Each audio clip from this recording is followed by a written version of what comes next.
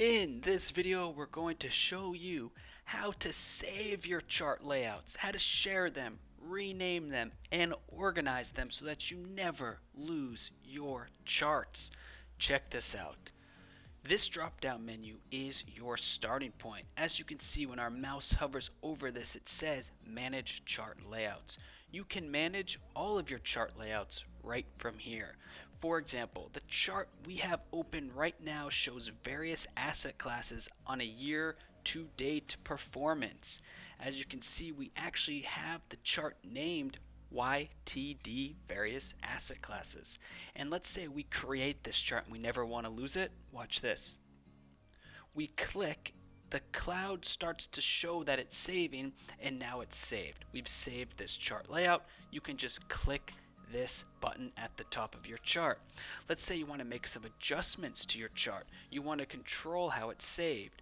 Well, we have an auto save feature. So you can click this and you can turn auto save on or off and it will save every five minutes.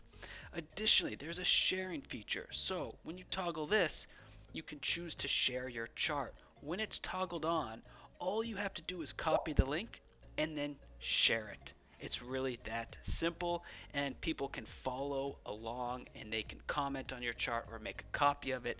They won't be able to draw anything though because it's your chart. So let's go back to this drop down menu to explore some other cool features. You can rename your chart. So if we click rename, right now it's called year to date various assets, but if we want to just call it, um, oops, let's go back, rename. Let's say we just want to call it year to date comparison, just a small change. We click save and as you can see, the name has changed. Now our chart is called year to date comparison. We can also make a quick copy of it. So if we want to remix this chart or we want to make some edits to it but not lose the original, we can just click make a copy and watch what happens. We choose our copy name, year to date comparison. Let's just call it copy one. We hit save. And now what's happening is we're loading a year to date comparison chart called copy one and we can make drawings as we need. Let's say we just want to circle, you know, these were the highs here at 70%. Interesting how it looks like uh, some of these assets were in an uptrend and just are starting to break below that. Let's go back to our original chart here. So next up we want to show is something very important, which is load chart layout. This is where you can manage all the charts that you've saved. So when we click load chart layout, we get this. These are all of the charts that we've created. As you can see, year-to-date comparison copy 1 is already there. We also have some options here where we can choose how we want to see all of the charts that we've created. We can do it alphabetically by the name by name. We can also do it by date modified. What was made first and what was last edited or created last. So this is a really effective way for managing your chart layouts. Also, see these stars here? You can add it to your favorites and if you do that, it will it will actually auto-populate to the top. So this way you're act, you're signaling to yourself, these are my favorites. I don't want to lose track of these charts. Now, let's say we were to click one of these charts that we've saved. For example, candlestick patterns. We made this chart and we want to go right back to it. So we click and here's our candle candlestick pattern chart. Pretty cool. It's saved, nothing's changed, it looks beautiful, it's just how we left it. So by going to this drop down and then load chart layout, you can see all the charts that you've saved over time. Now, one really important aspect of this, we're going to go back to our year to date comparison chart that we started with. Okay, this is the year to date comparison chart if we make an adjustment to this chart, this is so, so important. Let's say we change the symbol of to Apple. Okay, now it's Apple. We've just changed the chart layout. So now if we click, it's going to save with Apple, not BTC USD.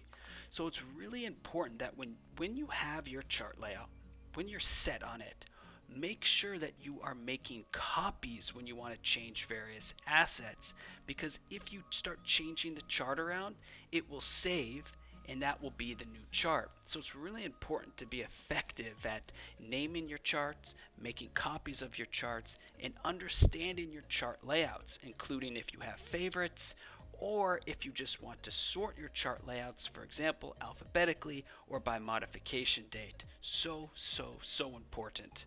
And remember, if you hover your mouse over this button at the top and click, it will save instantly. Additionally, if you notice, it says Control plus S. That's right, there's a hotkey. If you press Control plus S, the chart layout will automatically save. That's just two buttons to press on your keyboard and it instantly saves. So we hope that this video helps you understand saving your chart layouts and why it's so important.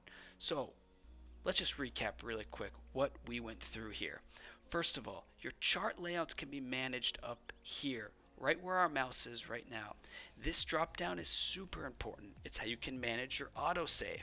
It's how you can manage if you want to share the link with friends or family, colleagues, people in your network.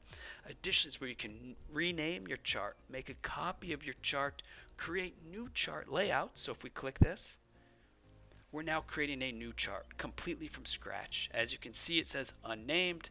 So let's rename this and in this instance, let's say we want to make a chart layout called, um, let's look at, uh, at Zoom. Zoom is a stock that's been on quite the run this year in 2020. So now we've called it ZM stock. We go to our symbol search, type ZM, and now let's save it. Now we've saved our Zoom chart layout. It is just a line chart. It is going to be year to date and let's keep it at percentage change. And just like that, we have a new chart layout that we can always come back to. So let's click load chart layout.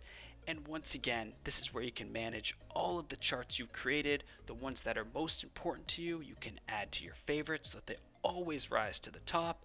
And additionally, it's where you can quickly, really quickly, go back to the charts that you care about.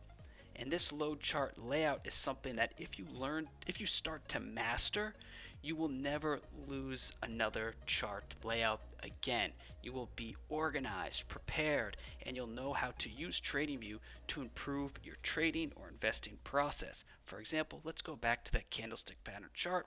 All we do is click. Here we are. It has not changed a bit. It's perfect.